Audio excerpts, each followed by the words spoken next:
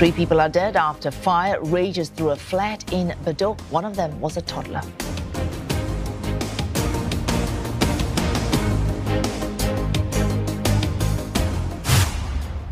Well, staying with that story, we've got the latest uh, from Tan Se Hui. She is uh, on scene at Bedok North.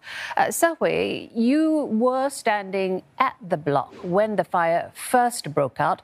Uh, tell us, what do we know about the family that's been affected by this tragedy and the knock on effect to the neighbours? Yeah, at the moment, uh, recovery works is still ongoing. Electricity is back on. Um, but a lot of the residents are saying that they are still emotionally affected, but help has been pouring in since the morning. Now, opposite is their heartbeat at Bedok Mall. Uh, they were first given food and water when the fire first broke out. But when the situation stabilized, many of the residents went back home and they saw the utter devastation. Um, and many of them have uh, sought accommodation. Uh, two families are seeking accommodation at the nearby Hotel 81 uh, till Tuesday, and after that, HDB may provide them some accommodation after that.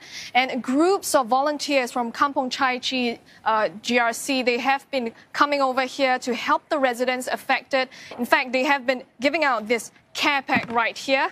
Um, they have wet wipes, um, and there's also a mask and this bucket so that they can clean off the soot that is both inside their unit and outside their unit. And depending on how uh, their unit is uh, affected, the soot could only be cleaned out after maybe several weeks. And I spoke to the MP uh, of this GRC, and he says he spoke to some of the residents, and he is still going to offer more help to residents in the coming week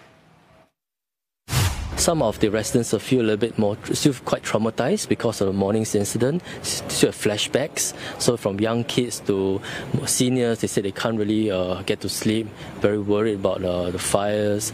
So we are also arranging for counselors to come by and speak to them and to engage them and see what else we can do.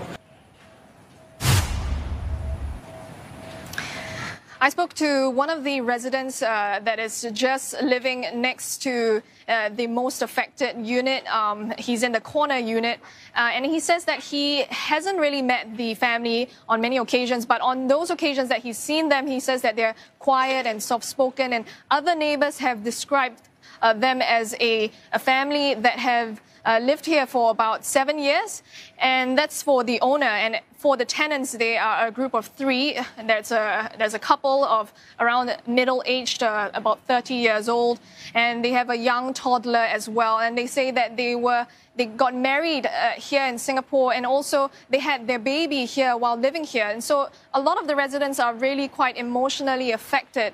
But there were some bright sparks to this tragic incident when the fire broke out. A 40 year old man he went around uh, trying to inform many of their neighbors that the fire was was out and it was breaking out. And and so they we we call it a heroic act from this man and they call it the kampong spirit. And so let's hear what one neighbor had to say. During the times when you know everybody is trying to evacuate and suddenly there is a young man around age around about 30 to 40 so he rushed, I can see he rushed and hit my door very hard and asked her to ev evacuate. You see, every door he hit and just go off.